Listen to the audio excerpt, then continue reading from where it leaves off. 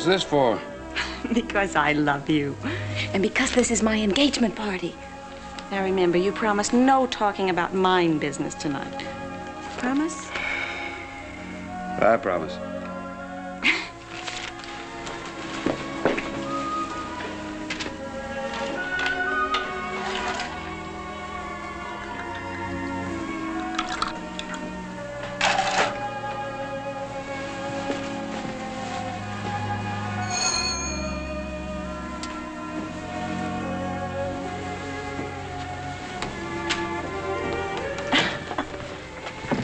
Here he is.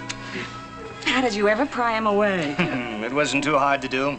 Well, I told him if he didn't come to this party, I'd uh, refuse to be best man and marry you myself. I didn't want to take that chance. Forget about being superintendent for one night, Gil. The mine will run all right without you. I sent the night shift back to work on the third level. You what? I told you we couldn't work the third level without new timbering. Dad, you promised no mine talk.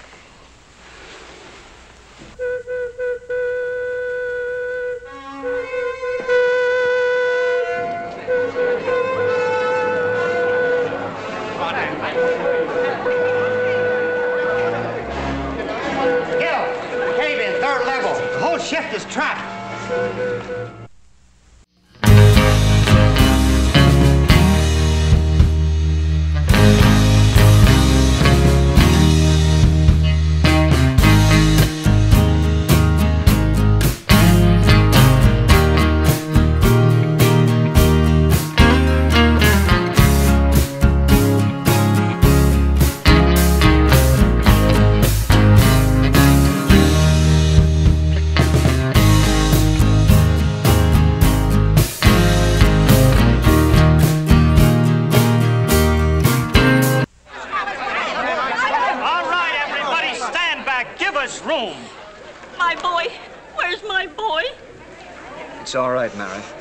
I'll find him. Mr. Holloway, you promised us new safety timbering. I'm doing all I can. Come on, dear. You ought to go home. It's all right. You'll be all right. I know you You said that third level wasn't safe, but you sent the shift in anyway. You said yourself it wasn't safe. Get out of the way, Tregellis. You used to be one of us. Now you're marrying Holloway's daughter. Gil's doing everything he can for Gallus. When? Like always? When it's too late? My kid brother's down there. Now you get out of my way, Cartwright. All right, stand back. Keep on back. It's coming up now. Give us room. There's two of them. Move on back. It's Pat! Pat! All right, bring him on out. Oh,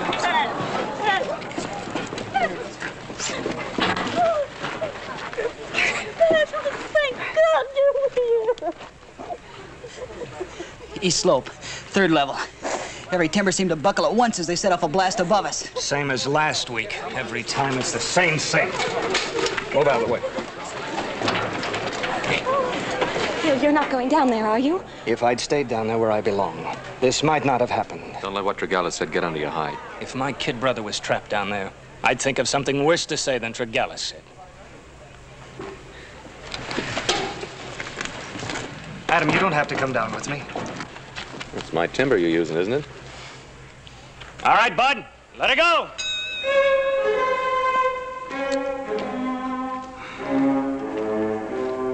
How do they stand it time after time?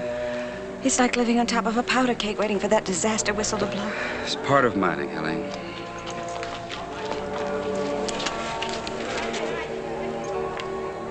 Enter it on the report.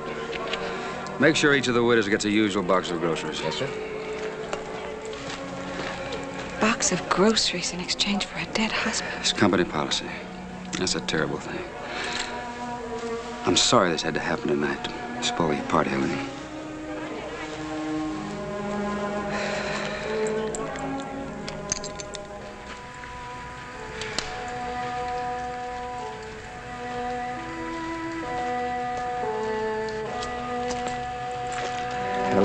This is ridiculous. It's two o'clock in the morning. Let's go home and get some sleep. Daddy, those women won't sleep tonight. They each have a man down there, and so do I.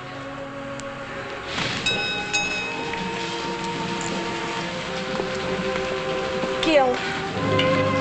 Oh, oh Gil, are you all right? I'm all right.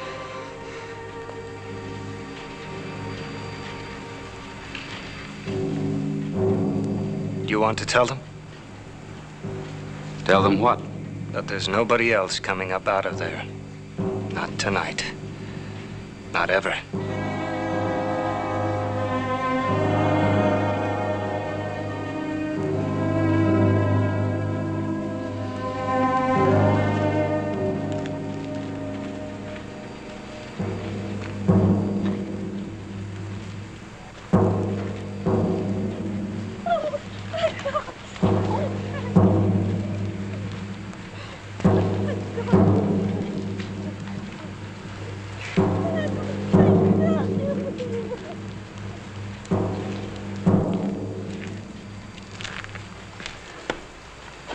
How soon can you give me a report? It'll be on your desk. Cold black figures against a white piece of paper. Five dead, two dying, five missing, 14 injured, but no slow up in production, Mr. Holloway.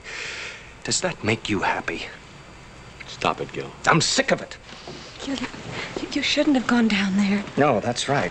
I should have stayed at the party. I'm a superintendent now, and the men I used to work with aren't human beings anymore. Aren't you being a little bit melodramatic? Am I? You. You should have been down there with us. That was melodramatic, too. I've had my share of mine disasters. But you don't have to face those men every day or those women. I do. It's not my job to manage the men. Not your job. Or haven't you got the guts to stand up to them and order them into a mine that isn't safe enough for a rat? The Ophir is safe as any mine on the Comstock. That's saying a lot, isn't it? Gil, please. What were you doing down there? I was checking the timbering. I've got a man hired to do that. I know. Philip Diedesheimer. I was hoping to talk with him. I run the Ophir mine, Adam. You sell me timber for that mine. It's worked out very well for both of us. Suppose we keep it that way.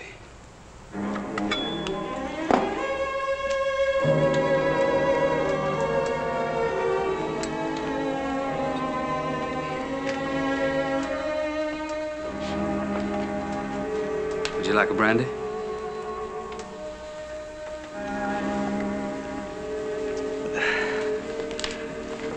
You must be tired, Helene. Come over here. Sit down. Close to me a minute. I want to talk to you about Gil. I'm as fond of Gil as you are. If I didn't think he'd make you a good husband, I'd have fired him instead of promoting him. Gil's a superintendent now. He doesn't have to go underground anymore. Daddy, those men are his friends. You, you can't expect him to forget that. I had to forget it. It's a lesson I had to learn. Stay on your own level. That's my job, and I have to do it. Don't you think I have bosses? My bosses have no faces, no hearts, no souls. But they've got a stock certificate. If I get soft or sentimental, they use it as a club to beat my brains out.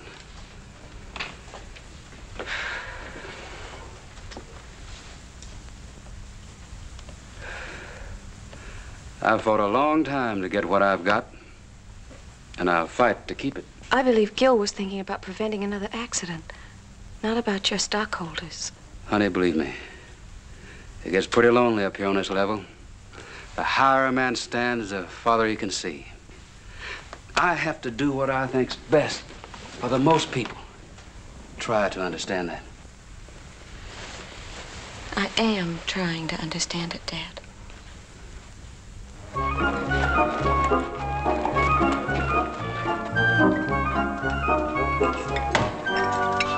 Good morning. How'd you get into town so early? I yanked him out of bed, that's why. Coffee? No, thanks. Gil, you still think it'd be worthwhile for me to talk to Diedesheimer? My future father-in-law doesn't seem to think so. But I still do. That's why Holloway likes you. You stand up to him. Hey, who's gonna pay for this? I don't know. I'm too sleepy to try and figure it out. I can't figure out who's going to pay for it on an empty stomach. That'll bring me another steak. Mr. Fenton. Could I uh, talk to you? What is it, Tregalis? Well, last night, uh, my kid brother was down the mine. I should have known he'd be all right. Well, I said things I shouldn't. It's all right, Tregalis. I understand. Well, I, I wouldn't want to lose my job or anything like that, you know. You won't not over this. Thanks. Gil? Same old Gil. You ain't changed. And, and, and listen, all this talk about uh, shutting down the mine, uh, safety tests and all that, uh, don't you do it, Gil. As long as there's a hole in the ground, me and the boys will go down into it. Wouldn't want to lose no day's pay. Somebody's afraid of getting a rock on top of the head. And, uh, Mr. Cartwright, I don't blame you for poking me in the whiskers. Uh, next time, uh, don't do it so hard. Have you seen Philip Diedesheimer? Dutchman? I don't understand that one. He's the only man I ever knew who could look a hole straight through you without even seeing you. Well, has he been around? He's been down in that hole since 10 minutes after you left last night. Either he comes up for air pretty soon, or he's going to find nobody here to work this hoist when he rings that bell. Will you stay around for a little while? Take care of this for me, will you, Casey? Gil. Gil, I've been looking all over for you. Not now, dear. Adam and I want to go down below and look around for a minute. If it were another woman, I could face it, but to have a silver mine for a romantic rival. hey. oh, Gil, please be careful. If anything happened to you. Off you go. Oh. All right, Lou. Let her go.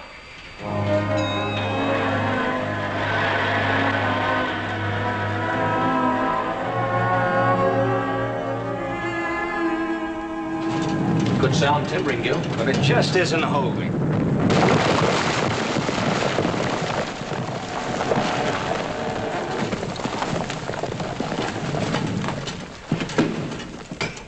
Philip! Philip Diedesheimer!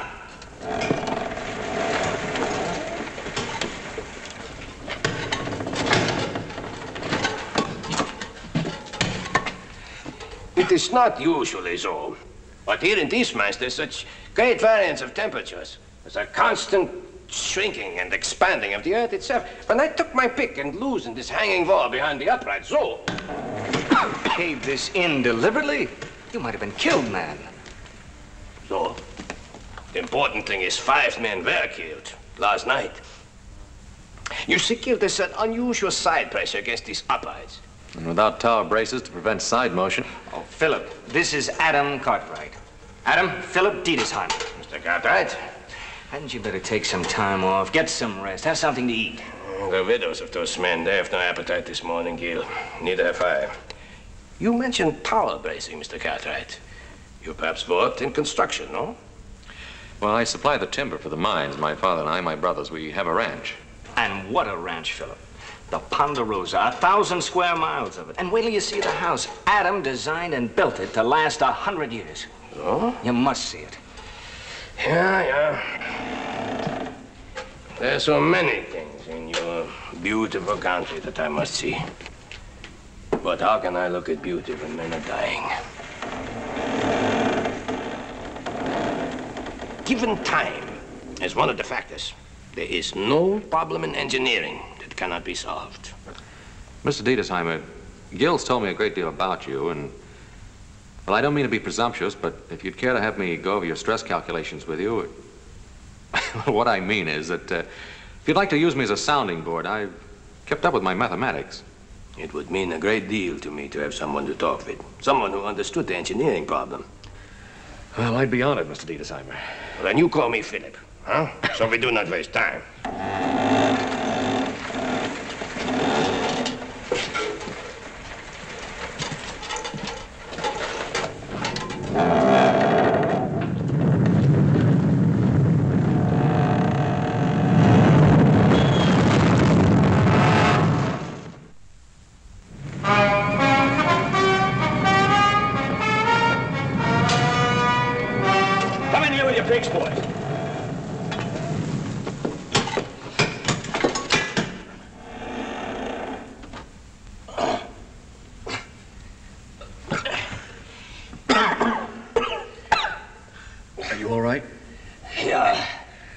Where's Gil? He was right behind us. Can you see him? No. Gil? Gil, can you hear me?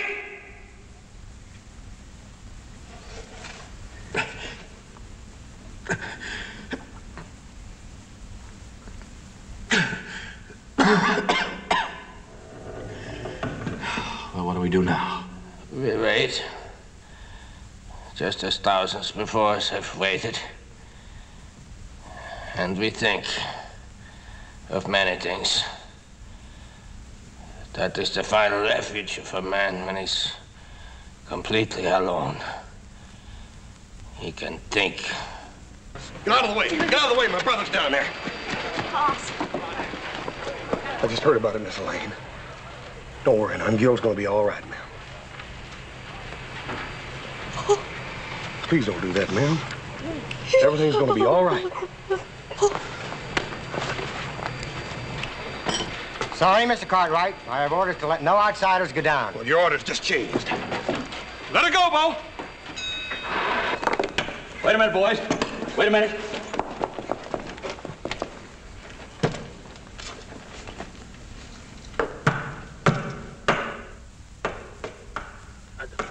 Uh, answer them.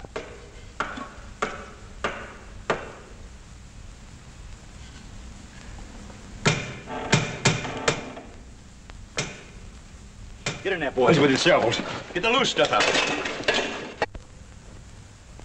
What are you thinking about now?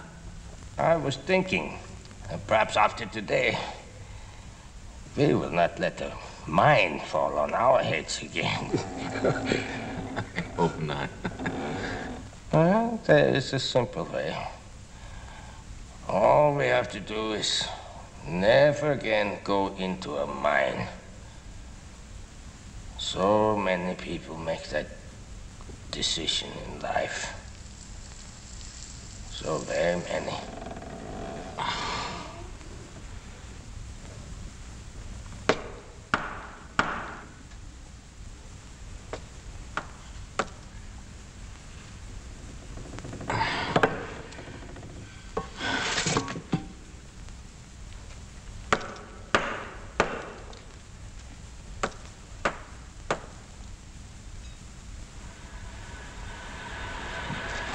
Use, boys. We may as well give up.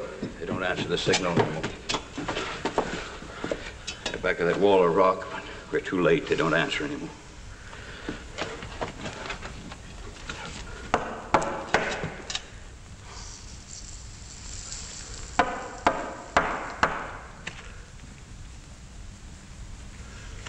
Give me that shovel.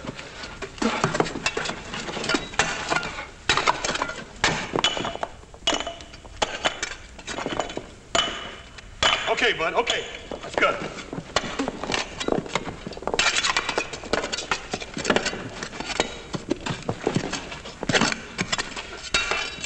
Give me some light.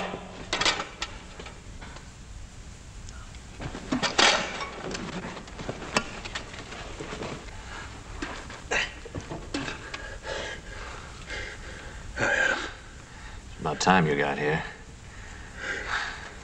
Gil's back there somewhere.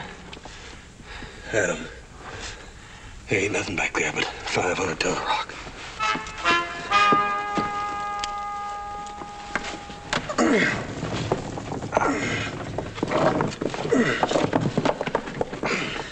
All right, let it down. How are you, Mr. Diedesheimer? All right, Phil, see if you can make it.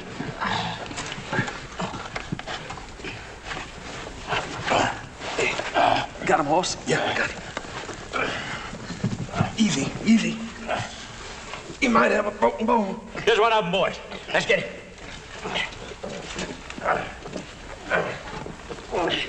Take him out, boys. Here we are.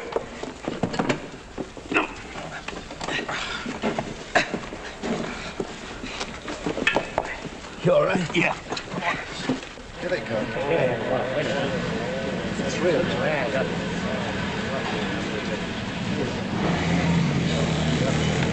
Gil! Where's Gil? Miss Helene, I, I want to talk to you. That Gil. He's always the first one down and the last one up.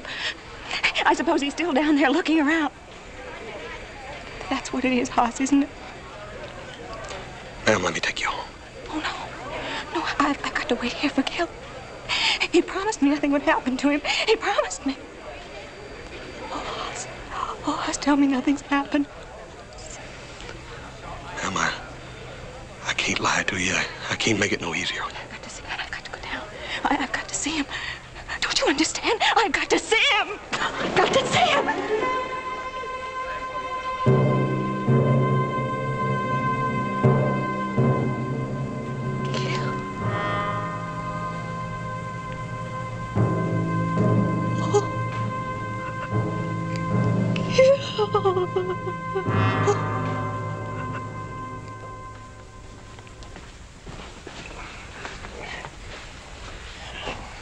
Where's Gil? He's still down there. Well, go get him, Adam. I want to talk to him. What I'm trying to tell you is What he means is Gil is dead, Daddy. What? That's the word he was looking for, dead. But it's a dirty word and no one wants to say it. Not here in this house, not on this level. The stockholders might hear. Dead is, is a word for, for men who work down in the ground, not for people like us. We, we can't talk about a man who's buried under 50 tons of rock, but he's dead just the same. Oh, Daddy. I'll give her a sedative. You come along. You too.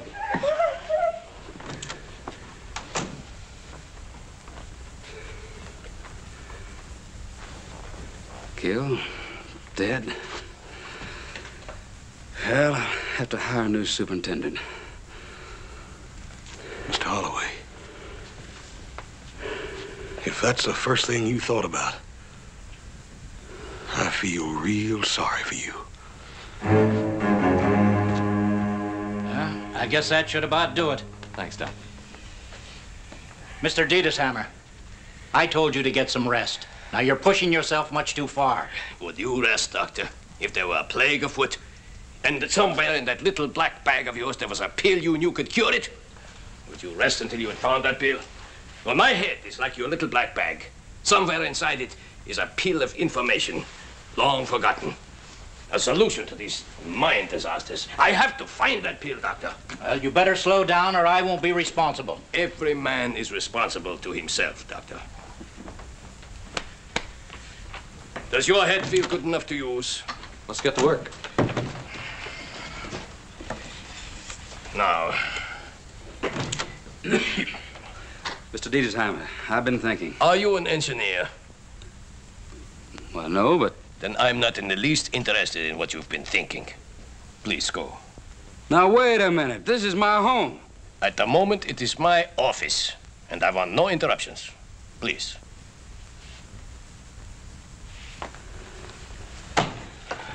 Now.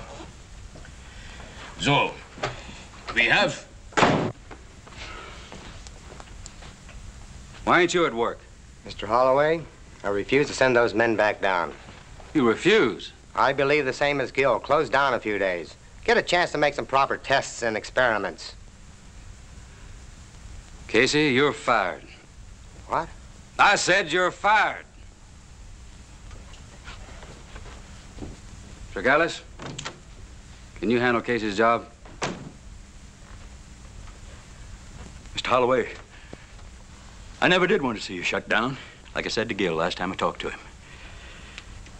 I can get that shift back to work. See that you do. Another thing I'd do, Mr. Holloway, I'd order that Dutchman to stay away from the men. He wastes an awful lot of time. I'd tell him to take care of his own work, leave our boys alone. You're in charge. Go tell him. He's right upstairs. That is the problem, Adam, and it is increasing every day. The veins of silver grow wider the deeper they go. I know, and the U bracing that we use in a narrow stope becomes worthless in a 65 foot wide gallery. And it is not only the overhead pressure, Adam. There's a constant side pressure as well. I want to talk to you, Dutchman. Vertical bracing and cap pieces, certainly. But it would be standing so thick that a man couldn't get through. I'm in charge now. We are very busy. And even the tower bracing you suggested. Listen to me when I'm talking to you. You're going to take orders just like the rest of the men. But how are you going to get 65 foot timbers down a mine shaft? And I want you to stay away from the men. Hear me? They're down there to work, not to visit with you. And another thing, Dutchman.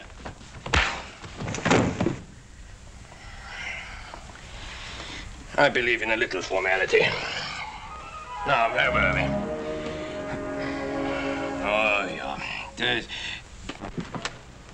Miss Helene. Miss Helene. I know you're sorry. That's not exactly what I was going to say, ma'am. Folks mean well when they say that they're sorry. It's like when my mama was still alive. Remember, I used to bash my finger and she'd kiss it and tell me the pain was all gone. It wasn't really. It's just that now when I try to remember the pain, all I can remember is my mama kissing it away. So I smile bravely and lift my head. And there never was a Gil Fenton in my life. No. No, you. You can sometimes forget the pain, but you can't ever forget the love. Never. There's gonna always be a Gil Fenton in your life. I remember. I was in love once with a girl. As much in love as a man can be, I reckon. I guess that sounds a little funny come me, don't it? Oh, no, it doesn't, Hoss. She died. I know that my Paul and Adam little Joe sorry. But that just wasn't enough. Not right then, it wasn't. What did you do?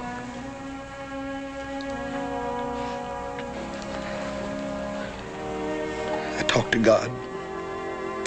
He told me I was just going to have to keep on living.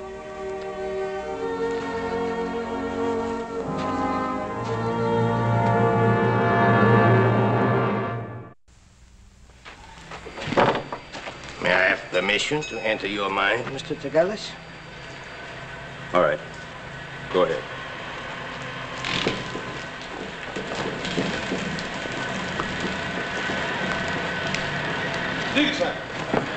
Adam told me to find you and tell you that that number six had shifted and that the tower braces were 10 degrees out of plumb, whatever that means. It means, Hoss, that we now know one more thing that will not work. It means also that we must still find that one thing that will work. Well, he told me I ought to talk you into getting some rest, too. Uh, well, he may have said it. But he didn't mean for me to do it. But it would be good. So good. Stretch out for a while, close my eyes against the sun, and feel the life of the earth beneath me. But I would feel only the death, Hoss. Only to death. You, you feel all right, Mr. Diedesheimer? All right? I do not know. That is a relative question, no? I only know that my head is so full of vertical braces and cross braces and cap pieces and skulls and timbers that my brain is like a bee swarm of unrelated facts, buzzing and churning and working within a hive. Honeycomb. A honeycomb! Sir? I have it, Hoss, I have it! You got what? Go get me some one-inch boards. Soft pine that I can cut with a jackknife. Go, go bring them to my room. I go get Adam. Why did I not see this, Adam? Each surface bearing on the other. The ratio of strength of each side of a honeycomb to the combined weight of the honey. Gently now, gently. Come. Thank you, Hoss.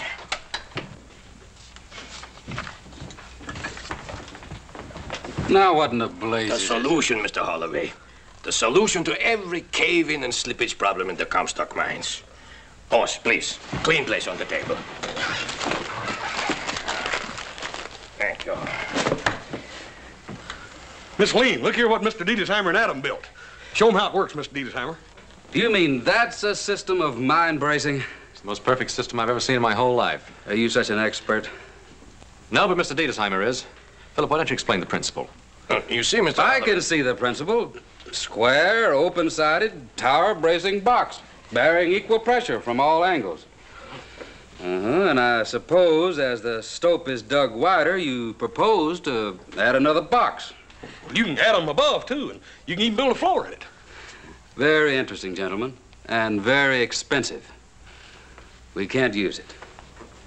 Dad, aren't you even going to consider it? But look at it, honey. It's a child's toy, a plaything of an impractical dreamer.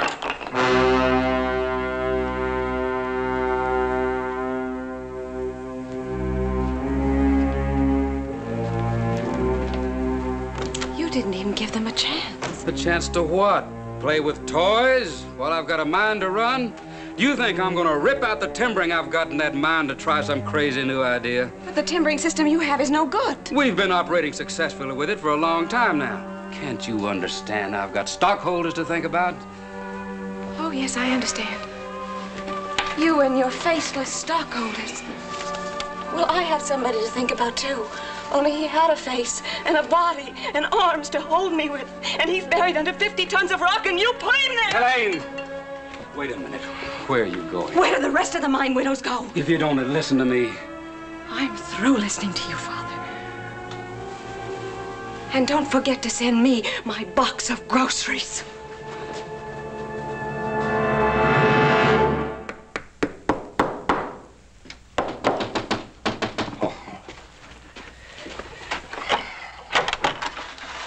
Been looking for you. Uh, I've been looking for myself, Adam.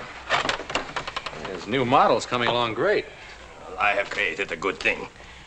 But that is all it is. A thing, a handful of smoke. What good is it to write a book if nobody reads it? Or to compose a song if nobody ever sings it? Or to invent a new way of timbering a mine if it is not used? Don't you worry. It'll be used all right. But when? When? When another hundred men have died needlessly? Well, it's such a radical departure from anything we've done before. Just take time to sell it to anyone. Only the dead have time to wait, Adam. We are concerned with the living. Well, the Ophir isn't the only mine on the Comstock. There's the uh, Yellow Jacket, Gould and Curry, and the Mexican. We know the owners. We've sold timber to all of them. All we have to do is sell one of them the idea. But I am not a fishmonger, Adam. Hawking a product on the streets. well, then you let me worry about that end of it. You just finish this new model. Looks pretty elaborate. Well, it's quite simple, really. Series of cribs, each surface bearing on the other. Now, that takes care of your side motion, which has been one of your big problems. Now, also, you see, with the wide veins that you're starting to hit, you can timber as you stope in merely by adding another crib. Now, the same holds true with working up above or down below, which is an impossibility with your present timbering. Now, here you could uh, have an ore chute uh, running diagonally right up here through the sets. Any idea of the cost? Well, I really hadn't gone into it. I think Mr. Diedesheimer was more concerned with safety rather than cost. yeah, I'd heard that he was pretty much of a dreamer. Well, thanks for showing it to us, Adam. Hey, ain't you even gonna let him finish telling you about it? Oh, I've seen enough to recognize the fact that the cost would be prohibitive. I'm afraid you'll have to figure out some other way of selling timber, Adam. You mean to tell me you think that's all Adam and Mr. Diedesheimer have been doing day and night is figuring out another way to sell timber? Oh, stay out of it, Hoss. I won't stay out of it. I don't like what this woodpecker's saying to you. Oh, really now? We don't have to pretend with each other. We're in the mining business to make money, and you should be able to understand that. No Cartwright ever made a move unless there was a dollar in it for him someplace. Mister, you're the biggest flannel-mouthed liar in the Comstock. Do you know who I am? I sure do, and you do too, because I just got through telling you. My brother isn't the world's finest diplomat, but he's managed to express my own feelings pretty accurately. Well, it might work. Sure, but the system we're using now can be put in for one-tenth the cost. Why did Holloway ever hire that Dutchman in the first place? Oh, now don't sell Holloway short. He hires this safety engineer, and the Crusaders leave him alone. I know, but now he's come up with this fantastic you idea. You don't find Holloway using it, do you? Well, is there anybody else we can talk to, Adam? No, that's about all of them. Besides, I'm tired of talking. You ain't gonna give up, are you? Well, I said I'm tired of talking. What are we gonna do? Well, what do the Cartwrights always do when it comes right down to it? We'll do it ourselves. You mean we're gonna make a big one of these things and stick it down old Holloway's mine without even telling him about it? Why tell him? He'll know it's there when he sees it tomorrow. Tomorrow? I said tomorrow. Adam, I heard you and Mr. Diedesheimer talking, and them timbers are big, and they gotta be milled and cut. How are you gonna do all that by tomorrow? Well, now, we own a sawmill, don't we? Now, we'll just give this job to our younger brother and tell him it's impossible to do. yeah, that ought to do it. we'll get started first thing in the morning. That's what old Adam said. And we will, too. You wait and see. When my pa and Adam and my younger brother, little Joe, put their head to something, it gets done. You're very proud of your family, aren't you, Hoss? Yes, sir, I sure am. It's a fine thing to have a strong family. Yes, sir. Paul's always kept us mighty close together. You see, we just half brothers. So? Yes, sir. My, my Paul's had a terrible lot of tragedy in his life. Tragedy. Yeah. But this has made of him a finer man. And it's helped draw you all closer together as a family, no? Yes, sir. I reckon it has. The girl, Helene, we must try to make her see this. Hoss. Right now, she sees only her own loss. But nothing is lost. Ever. And nothing is ever destroyed. The miners who were killed because of improper timbering in these mines, they have found a new method of timbering, Hoss. I did not do it. They did. I am only the, the instrument that carried out the plan. No more than that. Mr. Diedesheimer, folks are gonna remember you for an awful long time. Miss Lane. Sit down, Miss Holloway. Please. What's the matter? Matter? I've been walking around looking into the faces of women who've lost their husbands in the mines. I've been searching their eyes, wondering if they know my father is a murderer. Ma'am, you shouldn't ought to talk like that. Not about your own Paul. No. Maybe he ain't done all he could do, but at least he's tried. He hired Mr. Diedesheimer. But he hasn't let him do anything, and he won't. Well, it don't really make no difference if he don't. Because we're going to do it anyhow. What do you mean? Paul and Adam and little Joe are up there in the hills right now at the sawmill, milling the timber we're going to put down that mine. So Mr. Diedesheimer here can make the test he wants to make. Does my father know about this? Well, I, I reckon Adam sort of forgot to tell him.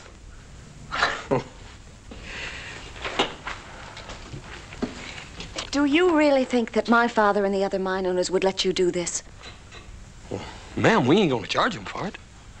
Besides, how are they going to stop us? Stop you? Hoss, don't you understand? They can hire 50 men with clubs to stop you if they want to. What do they want to do a thing like that for? I'm afraid this does go much further than a, a test installation Hoss.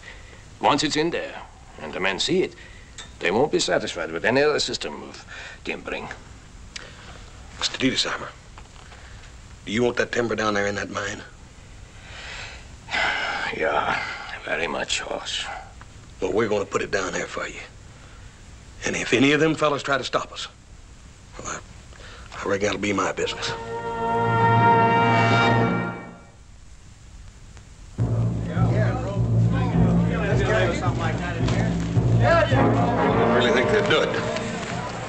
Reckon you must know them better than I do. I don't see my father with him.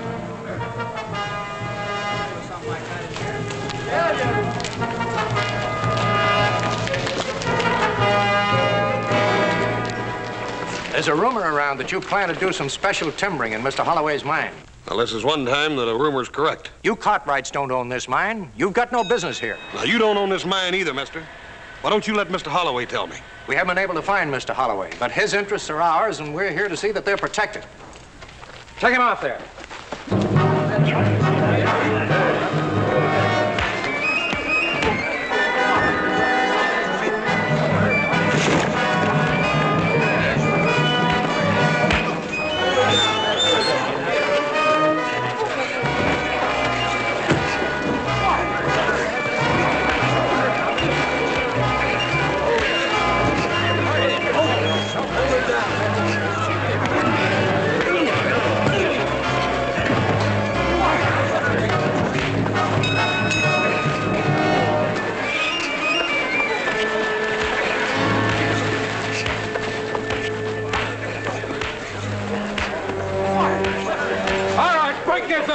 In charge here.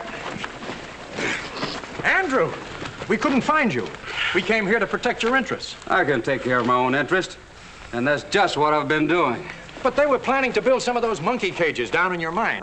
I'm aware of what they're planning to do. I'm helping them to do it. Why, Andrew, have you lost your senses? No, I haven't lost my senses. I've just found them. How long since any of you have been down in one of your mines? Well, maybe you should, gentlemen. I just did, and I don't like what I saw. I don't know if Mr. Diedesheimer's system of timbering will work or not, but he's going to get a chance to try it.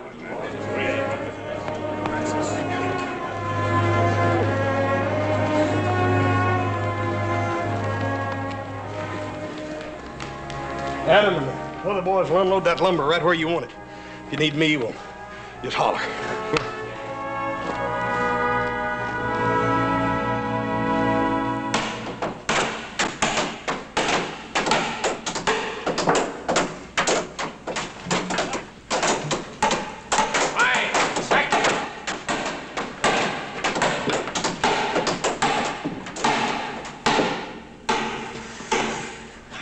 This is fine. You go now, huh? Thank you.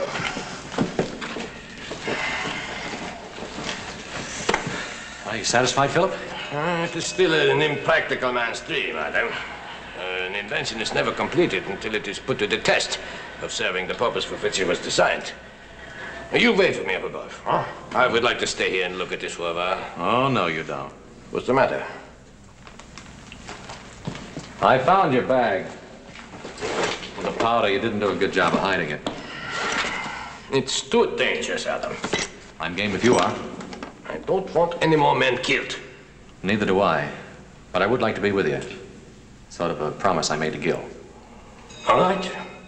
We'll see this thing through together. This is good.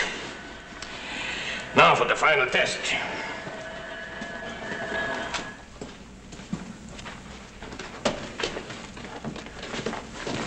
Why, you're wasting our time, Holloway. You better take a good look at it because you're going to see a lot of this kind of timbering from now on. Not in my mind, you won't. Well, this is it. Good luck, Philip. Come. Mr. Holloway, you should not be here. It's still my mind, and these gentlemen a little hard to convince. You don't understand. We're making a test. Don't test it too hard, or your monkey cage will fall down on your head. I hope not, gentlemen. I believe not. But we will soon know. We've set a blast to test it. Oh, oh, I can imagine you're being down here with a blast about to go off. Your workmen do it every day, don't they? Oh, yes, but with, With the- your present system of timbering. Well, you're standing under some of it now, gentlemen. You may stay here if you feel safer. I prefer to stay over here. So do I.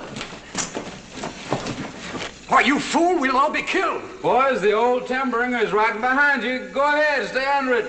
You better hurry.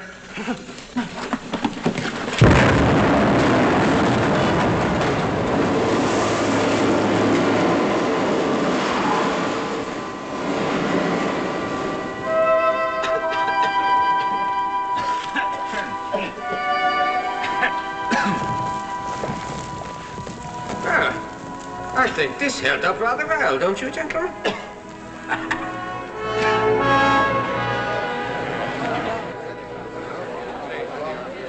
Very impressive. But I still won't hold still for it. And why not? Isn't it pretty obvious? This man undoubtedly has a patent on his timbering system and plans to rob us blind collecting royalties. I'm afraid I'm not so wise as you. I do not know the dollar and cent worth of a human life. I only know it is very dear. I have no patent, no desire to charge royalty. If my invention saves human lives, surely that is payment enough for any man. Wait a minute, Philip. Ladies and gentlemen, we've just made a practical test of the new Diedesheimer system of timbering. Any of these gentlemen here can attest to the fact that it was a complete success. I'm closing the Ophir till it's completely retimbered with the Diedesheimer square sets. Every man will be paid his regular wages while the work goes on. Ladies and gentlemen, here's the man who's put an end to all the mine cave-ins on the Comstock. Mr. Philip Diedesheimer. Every mine owner will have to put in square sets now. You watch. This whole town will be sitting on one big honeycomb. It's a great thing you've done, Philip. We did it together.